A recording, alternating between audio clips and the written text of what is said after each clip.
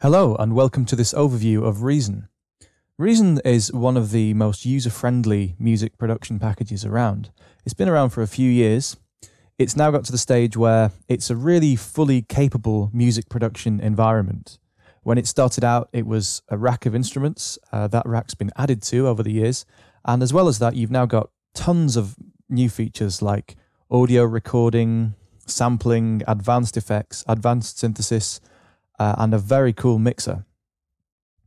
What we're going to have a look at in this overview is some of the fundamentals of Reason, how it fits together, what it can do, how it can let you make music, and in the more expanded tutorials, we'll go into a lot more depth about how it all works and how it's put together. You can see that uh, Reason has lots of different sections. Down the bottom here is the sequencer. In the center is the rack with nothing in it yet because we haven't started. And up at the top is the mixer section. Now, this is a default bare bones project, but as soon as you get started with Reason, you'll start to fill these up really quickly. And in order to make that a little bit easier to work with, these sections can all be moved around and dragged up and down like this. You can also split windows off using the window menu. So if you've got a very big screen or if you've got dual monitors, you can take your windows and put them anywhere you want. And that makes it a little bit more fun to use. Although Propellerhead has made it quite nice to work with, even just on a single screen. So all credit to them for that.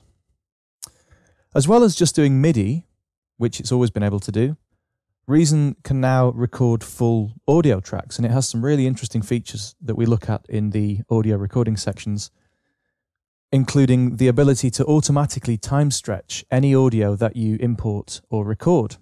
And the reason that that's cool is because MIDI projects have always been able to adapt themselves to whatever project tempo you set. So if you start a project at 120 BPM, and then you decide a bit later on that actually it would sound better at 115 or 125, MIDI has always been able to automatically fix itself to reflect that change.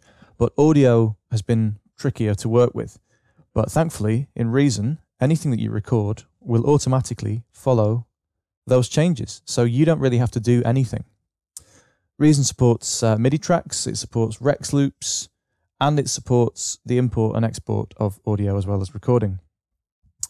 It has a greatly expanded mixer section, which is really professional to use. It's got advanced channel strips with built-in dynamics. If I just scroll up here, uh, multiple insert and send slots, quick controls.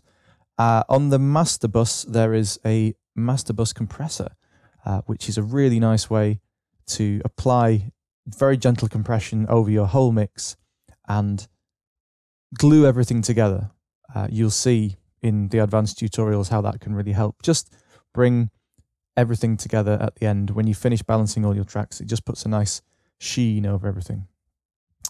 Reason's also able to batch export your files, and that's really flexible. Uh, you can do that in different ways. So you can export your files as stems for mixing somewhere else. Of course, you can export a simple stereo mixdown. Uh, you can also export with and without effects, and that's all easy to automate. So even if you've got a really complicated project, you can just tell Reason you want it to export in a certain way. And then you can hit the button and go off and have a cup of tea. And when you come back, it will all be done. So let's have a look at some of Reason's best features. And let's start uh, with the rack.